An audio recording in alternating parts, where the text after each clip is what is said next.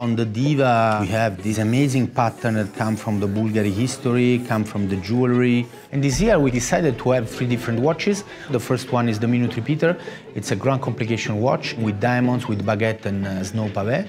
And we have the other two, that's our Minute and Second, with our base caliber, the automatic one, with uh, green Tsavorite and pink sapphire. So we cover three different price points colors because as you know Bulgari is the, the, the master of colored gemstones but even uh, uh, the movement we have on Diva the thinnest minute repeater that you can find on the market today so as you can see uh, we use this kind of finissimo movement not just for men but even on the lady side and it's very important for us to have these grand complication watches on the lady segment because it's even part of our heritage to make high jewelry watches with uh, important content in terms of uh, movement.